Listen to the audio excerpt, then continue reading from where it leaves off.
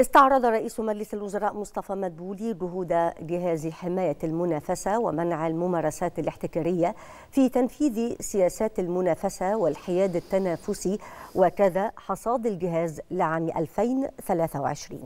خلال الاجتماع تمت الإشارة إلى أنه يتم التحضير لإجراء مراجعة النظراء الدوليين من قبل منظمة الأمم المتحدة للتجارة والتنمية الأنكتاد حول قانون حماية المنافسة وسياسته بمصر